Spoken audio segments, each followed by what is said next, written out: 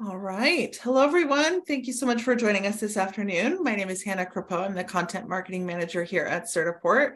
We're so happy to have you joining us for our eighth Certified Academy Business webinar.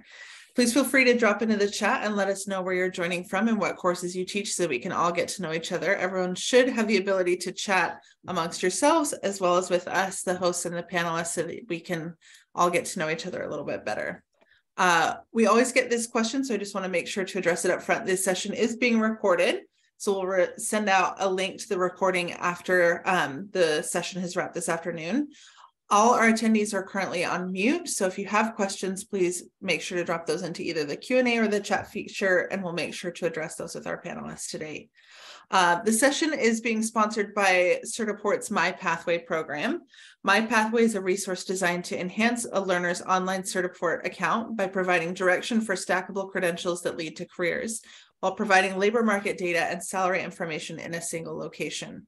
And that ties in very well with our um, discussion today about learning outcomes. And we have an incredible team joining us. So I'll make sure to give them their due, hopefully with a quick introduction. Our first panelist is Kathy Schmidt. Kathy is a 10-year veteran teacher with 25 years of firsthand experience applying Microsoft products in the business industry. Kathy entered the career and technical education field to prepare students for the rigors and realities of the work world. Having been passed over for workplace advancement because she lacked certification or college credentials, she understands the importance and value of certification. Kathy will be the first to tell in her enthusiastic manner that certification matters, but above all else, she will share with you and make you a believer that certification is for everyone. Second, we have Karen Columbi. Karen has taught a variety of career and technical education courses at the eighth and eighth through 12th grade level, as well as the community college since the early 2000s. Her focus is on expanding hands-on and experiential learning in meaningful ways to add valuable tools to the student's toolbox, building confidence and a resume of tangible skills to market in the workplace. Karen has seen certifications used to enhance resumes for those who need to get right to work, as well as to differentiate students working toward competitive internships, scholarships, and college programs. The most significant connection from certification to the real world is understanding how to work to achieve goals using the resources available. And I know that that's one of the things that we're going to be talking about this afternoon. Before teaching, Karen worked for over a decade as an avionics technician with Boeing, DynCorp Aerospace, and the US Air Force on programs including Air Force One, the B 2 bomber, and multiple F 16 deployments abroad. Our final panelist is Eric Yakovich. Eric is a director of economic development at the Port of Kalama, Washington, where he manages properties, marketing, strategic planning, marine terminals, parks, recreation, and security. Kalama is his hometown, and he holds a bachelor's and master's degree in business administration. He has 30 years of experience in nonprofit leadership as an accountant, finance director, and chief executive officer. Mr. Yakovich resides in Kalama with his wife, and they have two adult children and one grandchild. He enjoys time with his family, friends, and Husky football. We're very excited to have these amazing guests here with us today. So, before we dive into our topic, I just wanted to give everyone a chance to introduce themselves in a less formal way. So, we'll go ahead and start, Eric, with you. If you could just introduce yourself to our attendees today. Hi, Eric Yakovich, uh, Port of Kalama, as Hannah said. Um, I've worked here for nine years, but lived here most of my life. And uh, I've got several years of business leadership under my belt, mostly in the finance side of things, but um, also at the executive leadership level. And uh, just happy to help however I can, share share experience. Awesome. Thank you so much, Eric. Kathy, we'll come to you next. Woohoo! so excited to be here with everybody. I love Microsoft certification. So anyone who knows me knows that's a fact. Um, I came from business, like Hannah said. I was a teacher for 10 years and I have watched certification change lives. Um, so I'm super excited to talk about that and talk about mapping things to your curriculum and helping you strengthen your students. Um, I didn't say this in my bio, but I am married to my high school sweetheart. I have three kids and nine grandkids who are the light of my life. awesome that we could talk about that for a while. I was wondering as well about Eric's little grandbaby. So we'll have to touch on that a little bit later. But Karen, we'll come to you next. You want to give us a quick introduction? Hi, everyone. I'm Karen Columbi, and I'm actually speaking to you from my classroom. So my students are looking at me right now hmm. because I was supposed to be in a conference room, but the Chromebook didn't work out. Hmm. Just going to say we all know how that works when technology doesn't do what we expect and we have to act on the fly. So, hey, I'm here to talk about it today. Awesome. Thank you so much, Karen. We're so happy to have you. Hopefully, we get to see your students make a pop in in the background as well. Now, we know we're talking about learning outcomes today, and I know that this is a very relevant topic, of course, for CTE, where we have students working to learn specific skills demanded by the workforce. And so we have education representation as well as workforce represented in this panel today. And I wanted to start our conversation about what are the skills that our employers are looking for. So, Eric, we'll start with you, and then Karen and Kathy from your experience in working with your students what are those skills that employers are looking for so eric let's let's have you start us off well i certainly think that uh, first and foremost when we look at applicants we're going to be looking for some of the more formal mm. aspects of uh, the job such as education and experience um, the intangibles are really important as well uh, how you get along with other people how you how you communicate um, your presentation, your professionalism. Um, certainly, basics of an employment are just showing up on time. You wouldn't think this, right? I'm, I'm 54 now, and these things were instilled in me just as a child. Um, but these days, we seem to have lost a little bit of touch mm. with some of those real basics, like uh, being respectful, showing up on time, um, being presentable, on time for meetings, you know, studying, making sure that you know the topic before you show up for mm-hmm. a conversation.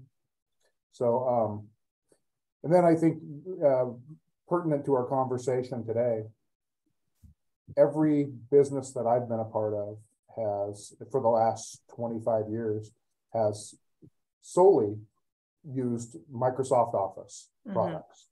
Right? Email is Outlook. Mm-hmm. The, um, Word is you know the next the next uh, primary tool, and then and then you kind of go down from there. Some people use PowerPoint, a few less people use Excel. Just depends on your job. Right. But but um, certainly Word and, and Outlook are just really primary expectations of employment.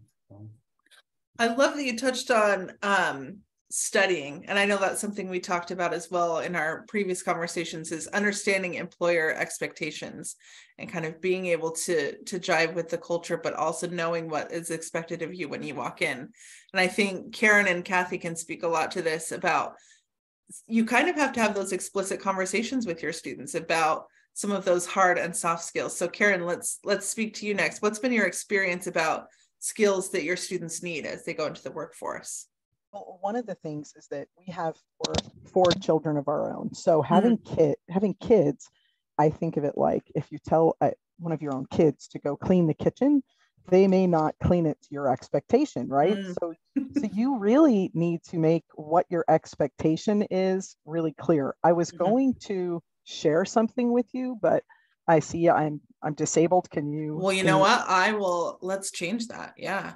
So, one of the things I do in my professionalism for the kids is we sort of go over what does that look like.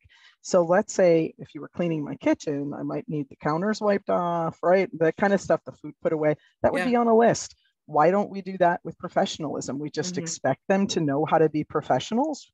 I don't think so. So, let me show you this. Each week, kids get something. I don't know if y'all are seeing this. Yes Okay, so you would get one of these and you get to fill it out yourself.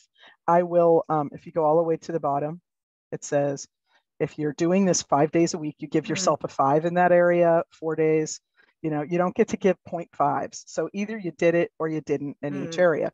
So we go kind of go through and talk about these proper use of etiquette. Are you asking questions? Um, and it's all sort of, you know, under these subheadings like, did you come in and have your cell phone put away and your AirPods out of your ears, keeping conversations where they should be, work without supervision. So just think about all those things.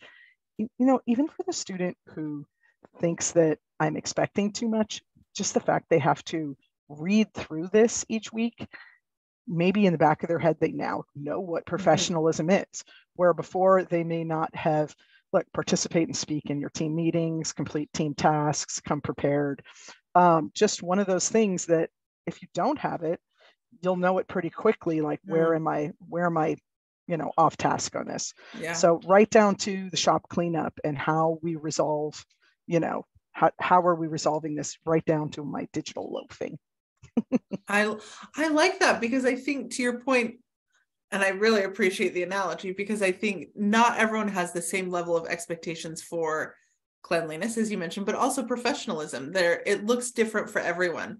So when we're going into a job situation, students need to know explicitly what's going to be expected of them. And Kathy, have you had a similar experience? What are some of the skills that employers for your students were looking for?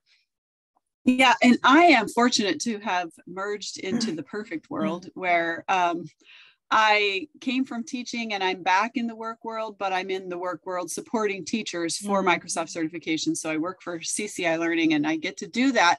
And it's really interesting that um, I get to go back and see all these things that I did in the classroom to help Mm. prepare students for work. And yet, still in the work world, we're still looking for those same things. Same thing Eric said, same thing Karen said. And I can corroborate what Karen is saying. I mean, even in the work world, and Eric would probably agree with this, and you probably would too, Hannah, when Yeah. when one department says something's ready and another department looks at it, it it's like we've all seen that cartoon meme, right? This is what the customer ordered, this is how sales interpreted it, this Mhm. is how production looked at it, and then this is how it came out, which is totally different. So I love rubrics. I I live and die by rubrics in the classroom for sure. And I uh, I love that uh, in the education space, especially career and technical education, we have the opportunity to work with advisory boards, um, which Eric is a part of the Kalama Mhm. Advisory Board. And so they we are able to say, what are you looking for in industry?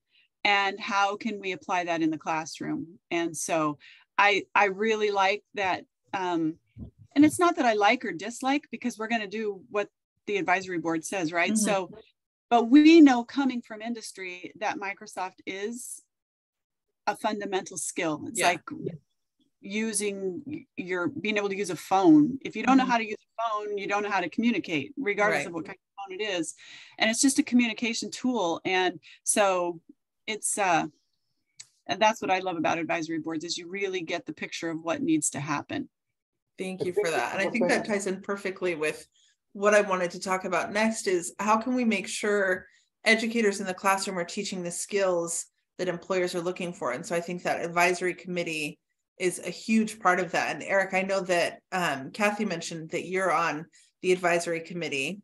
Uh, so I wanted to talk about your experience with that. What has it been like sharing what skills educators need to be teaching in the classroom? I, I- I think we have a very effective CTE advisory committee. And, and I think the key to that is um, accepting, being really open to feedback and, and accepting and incorporating that feedback Yeah. into the actual classes. I think I've been on, I've been on other committees, not CTE, but on plenty of other committees where you're asked for feedback, you give it, but it doesn't ever get reflected Right. in, in the product. And um, I would just encourage everyone to just be real honest and open about these processes and being open to hearing something that may not agree with your curriculum, because that's the point, right? To Mhm. improve curriculum and improve the experience for students. I, I think about, uh, one of the things that Karen put up was, uh, on her rubric was teamwork. And teamwork is kind of a pet peeve of mine when it comes to education. I, I've, through my own education and see my, my children, Mhm. um, it's, it's more apropos these days. that It'll be put into a group and say, here, Mhm. this is a team effort, produce this paper, this report. And I see them, one person does all the work. Mhm. So there's no accountability to, you know, the, the, the students learning what teamwork means. Mhm. It's just they're told, go be a team. And then one person does all the work and there's no accountability to Mhm. that. So I think if you're going to, uh, if you're going to teach people to be a part of a team, you also need to have some accountability consistently along the process for picking up your piece of the teamwork.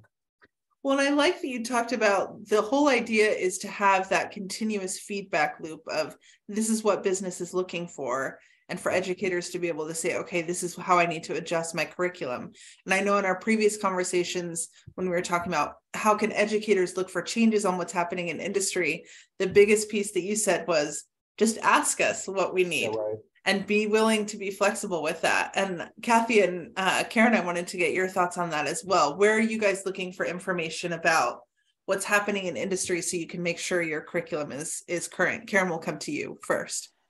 One of the best places that I have as a resource is our local work source or Mm. workforce development. So they actually come in and help me with my whole resume and employment unit, and they do a mock interview for us. But Love before that. they before they ever even start, they sort of back up and say, "Hey, I teach freshmen," and they go, "I know you're a year, maybe two years out from getting that job or internship." But this is the skills you need to be working on right Mm. now because this is what we are looking for.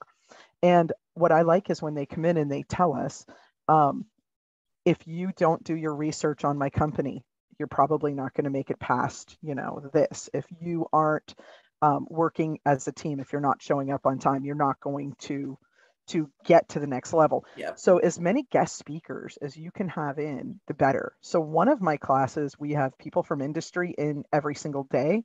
Um, it's Monday, Wednesday is one set of people, and Tuesday, th- um, Tuesday, Thursday is another set of people. So Mm. I have six people in my classroom every day from from the industry.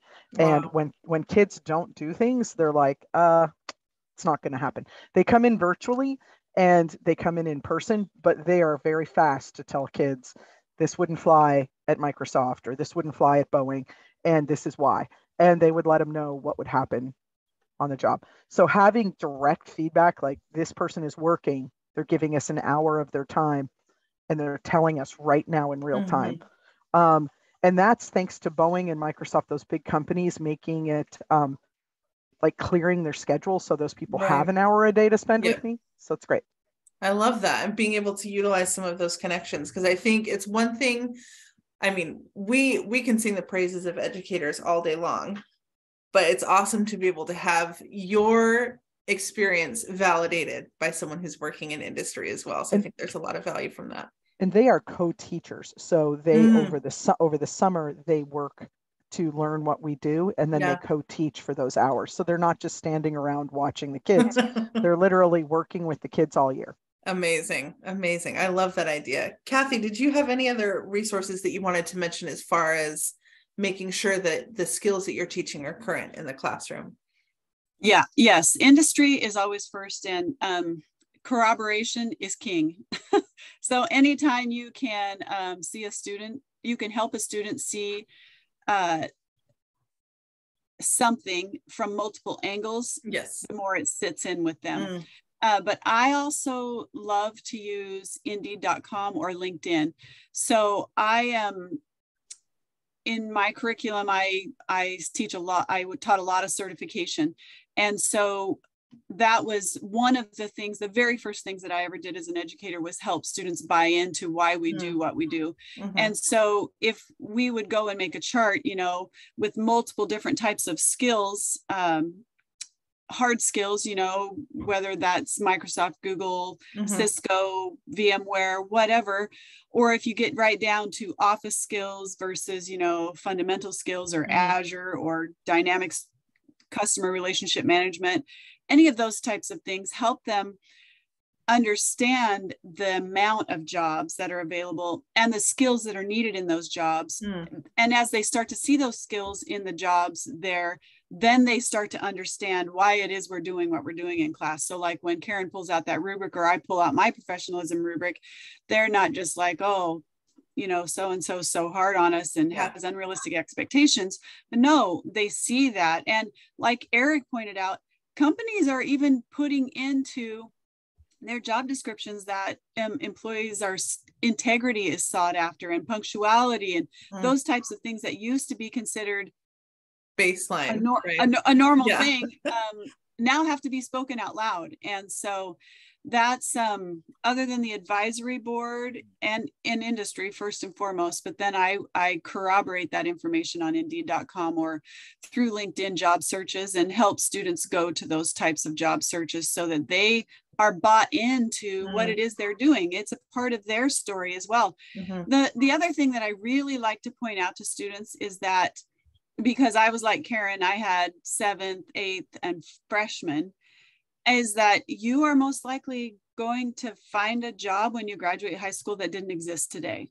Mm-hmm. And so I really need you to understand uh, about transferable skills. Um, what you might learn in this class today in a Microsoft certification you may take to your job in a different type of proprietary software, yeah. but it's the same skills. It's word processing versus using a spreadsheet versus organization using software yeah. versus using some type of customer relationship management software. Um, verbal and written communication skills mm. are across the board, no matter where you go, punctuality, teamwork, those things are all a global transferable skill. So, um, yeah, hopefully that answered your question. No, I, I think that's great. And I love that you've each cited, I think, a different source of that information. Industry, of course, is so important, but there's different ways to get access to that information. Not every school, not every district is going to have that advisory committee, although we would, of course, recommend that if that's not in place, that you look into how you can start one. But I think there's other ways to get that information.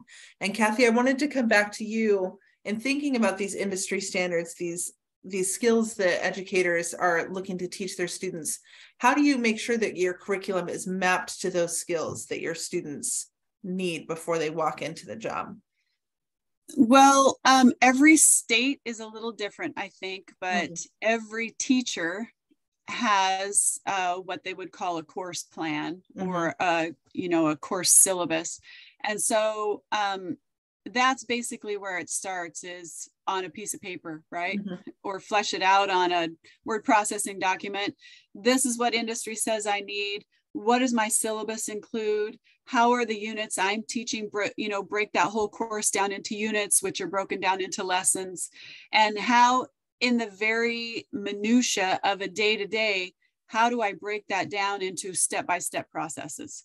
You know, so you, you can say, yeah, I want to certify my kids, my students. Mm-hmm. Well, what kind of certification is it going to be where are you yeah. going to get the exams how are you going to teach not necessarily to the exam but to the exam so that they are able to pass the exam um, and how do you break those teaching steps down so in washington a lot of that is done through what's called a framework um, and so you actually have to submit that to the state and say um, in career and technical education if you want to get enhanced funding these are the things i'm teaching then they have requirements and you've either met all the requirements or they work with you, which includes working with some type of um, classroom to workplace setting, um, mm-hmm. maybe not necessarily uh, having a job, but some type of job shadow or mm-hmm. some kind of out of the classroom experience in the workforce.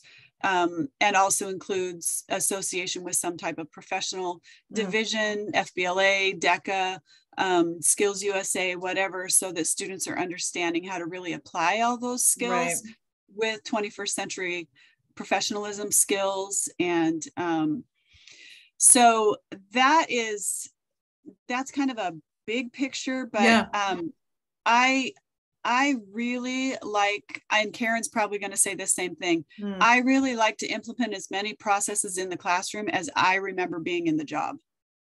So if it was something I did at work, especially like when you teach a business class, it's mm-hmm. really beneficial, you know, to get them into a project that imitates something that actually goes on in the workplace.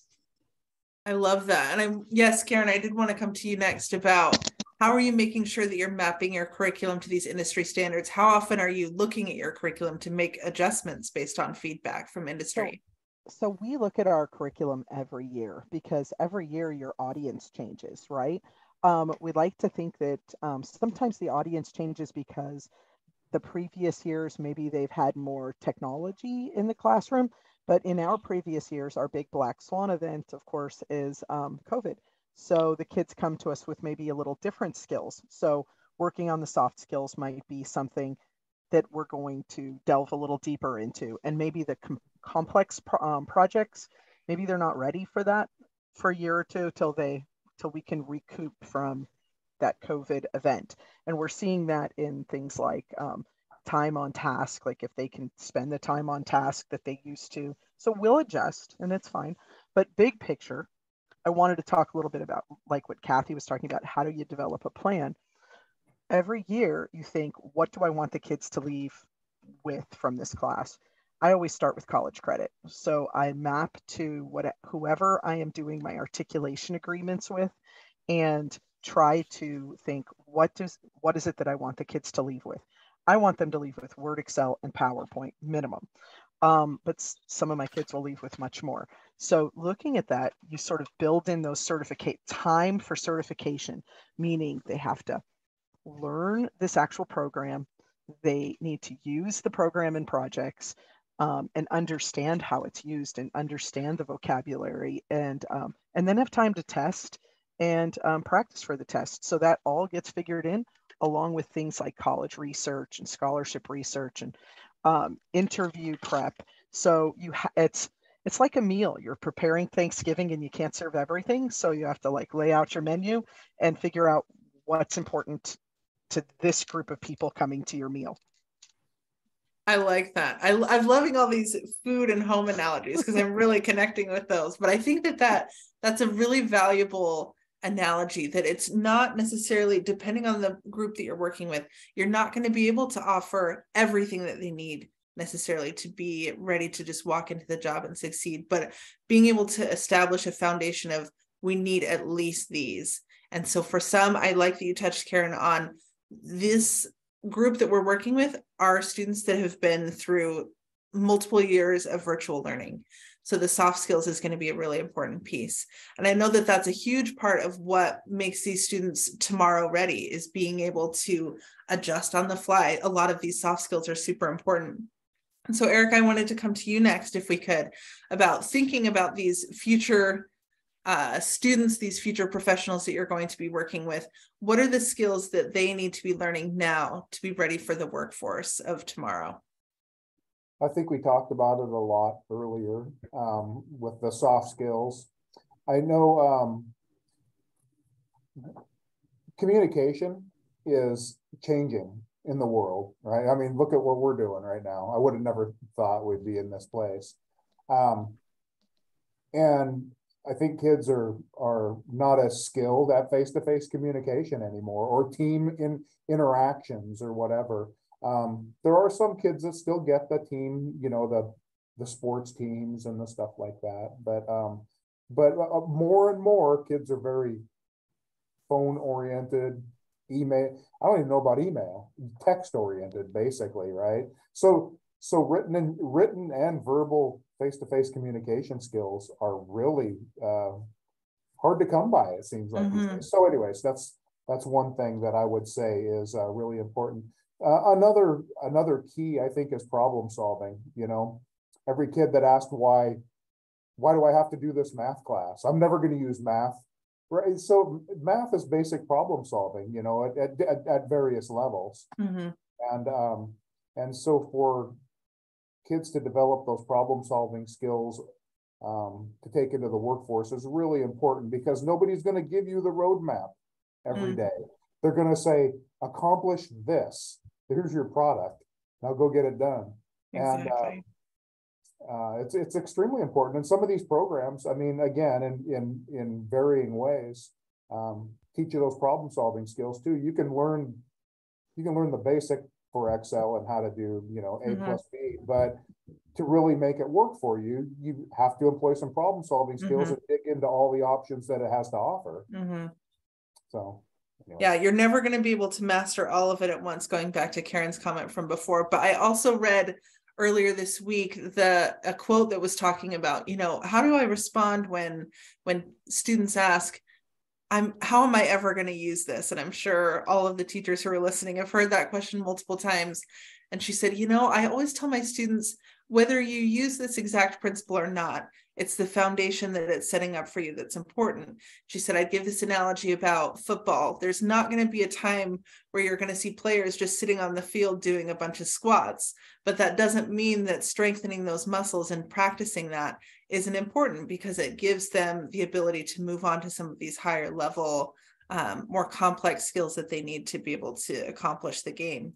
And so, Kathy, I wanted to come to you next in thinking about getting students to be tomorrow ready. What are the skills that you think we should be focusing on? Um, transferable. The word transferable to me was one of the most important words in my mm. classroom. Um, everything that we taught in that I taught in my classroom was transferable in one way or another. So mm. there was never just um, a single application for it, and and that was a part of the discussion always mm. in my class because uh, every single teacher on this call or who listens or who has ever set foot in a in a classroom will know you can teach the same class to three different sections of kids and they're all different mm-hmm. you're you are never just like whoo on the breeze. I got three of the same class, no problem.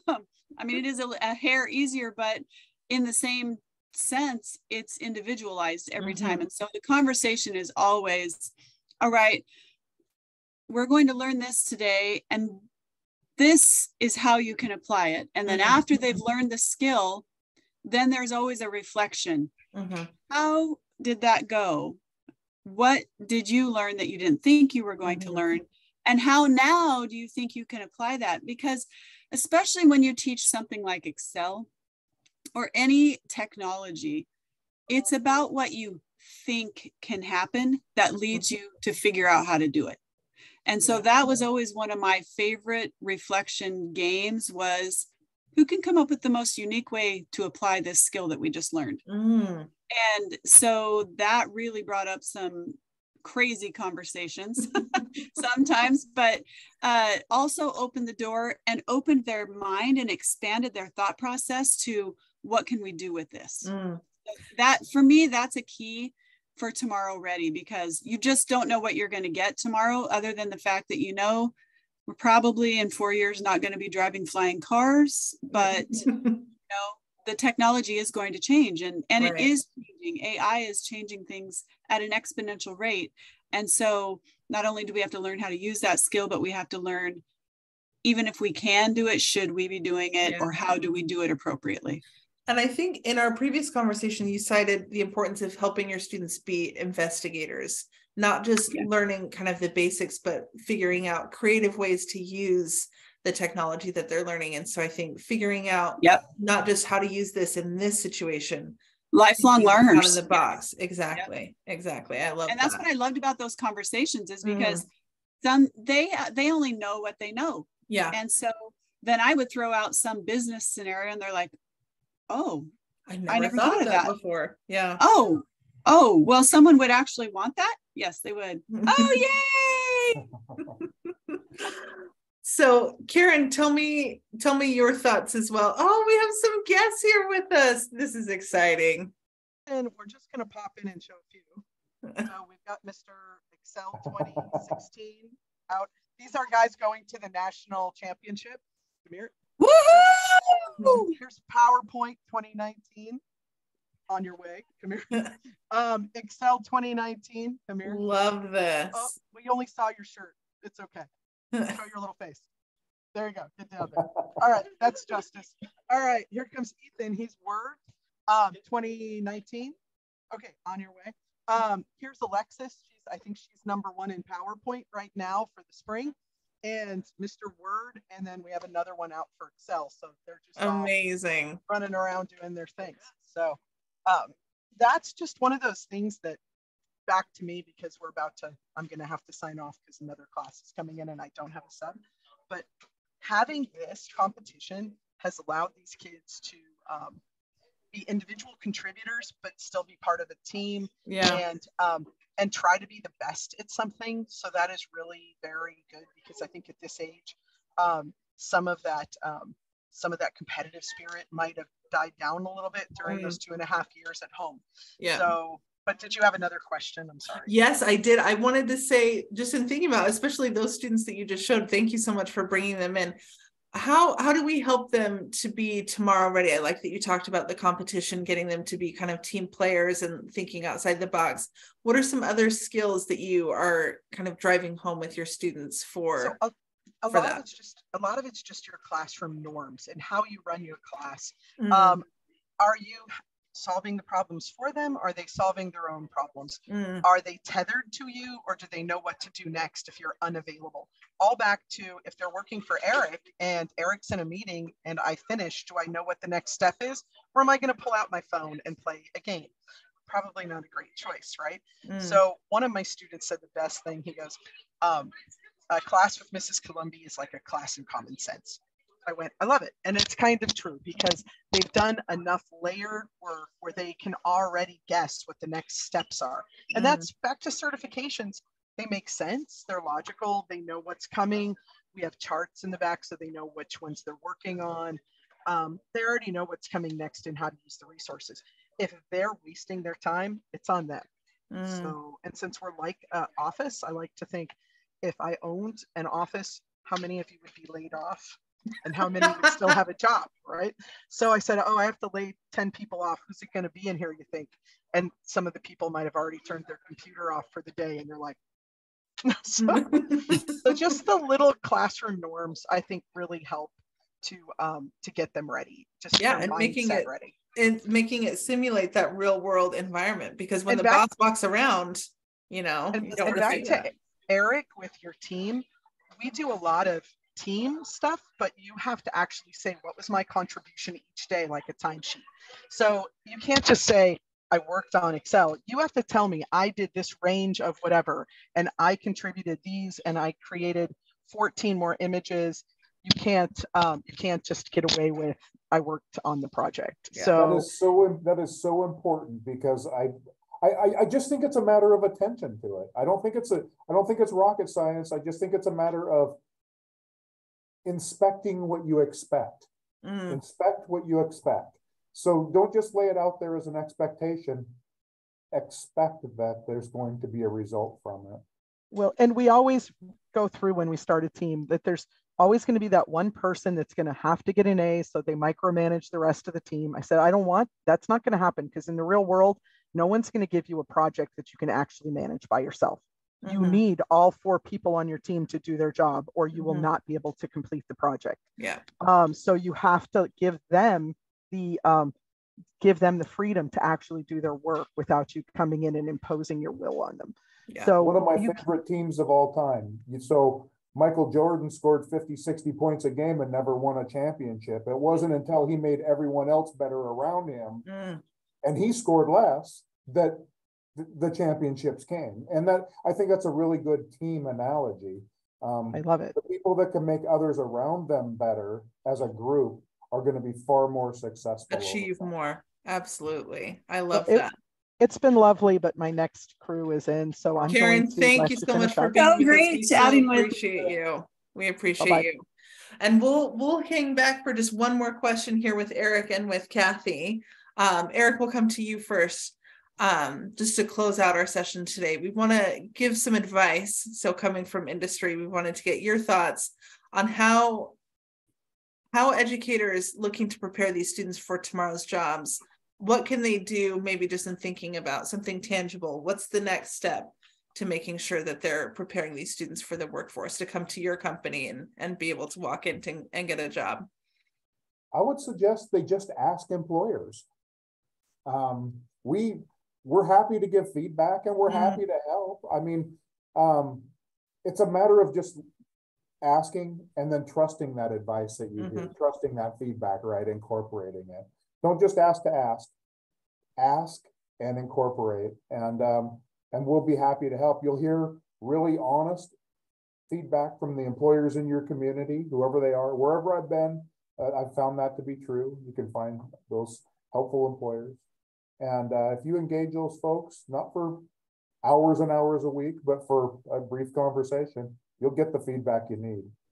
I really like that. And I I actually heard a statistic and I can't remember the percentage off the top of my head, but um there's an educator that I was able to connect with, and he was talking about, you know, so many of the students that we work with are going to be employed in the area where they went to high school. Most people kind of stick around where they grew up, where their family lives.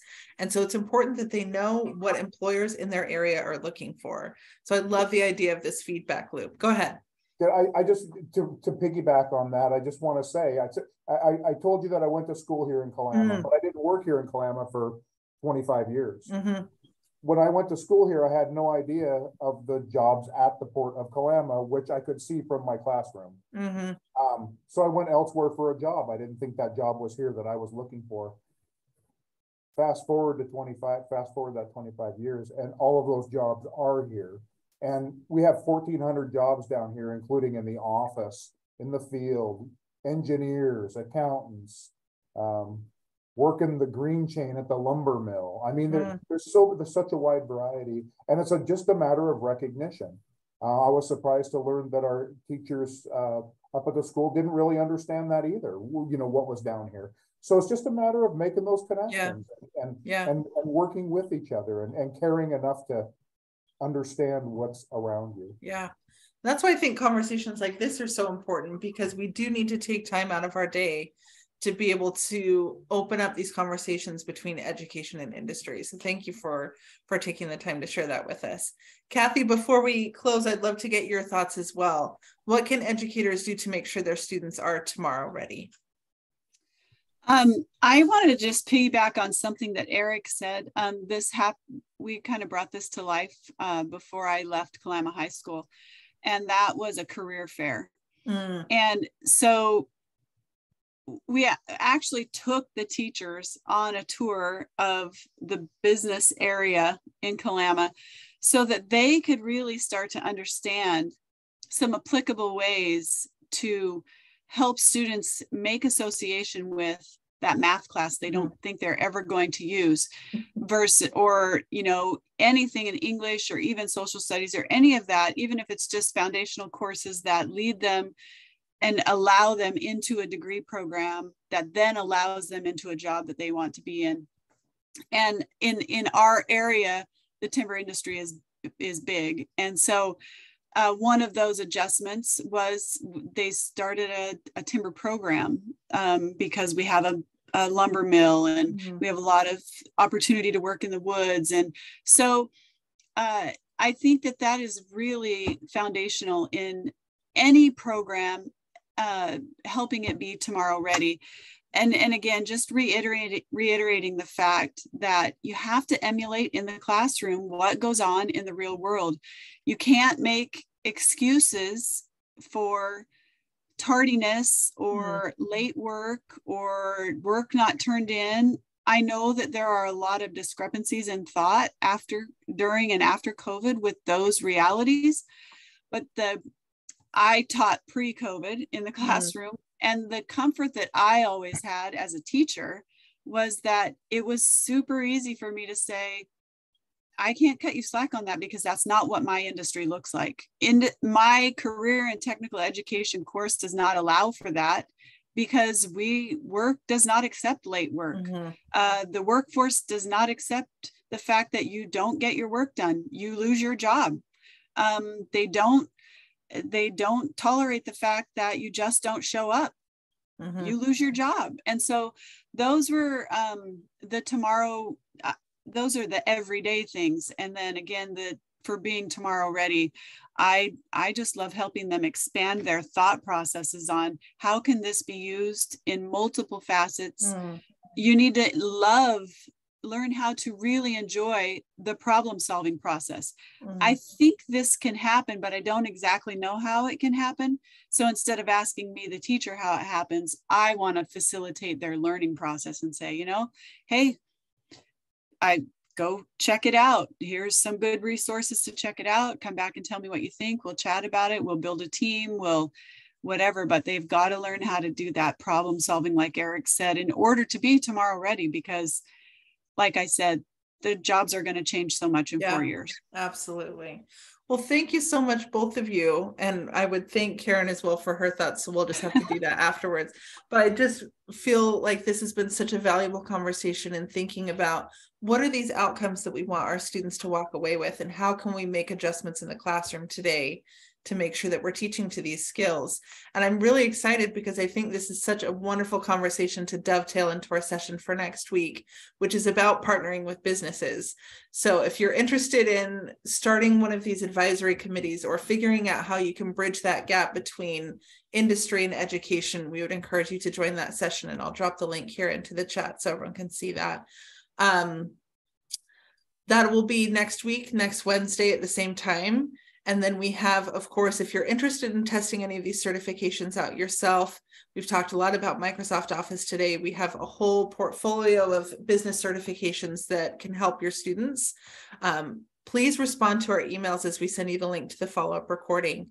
Uh, we can get you in touch with our Certiport representative so you can test these out for yourself and see if these are something that you want to work with your students to be able to earn and be able to walk into the workforce ready with these skills that we've discussed today.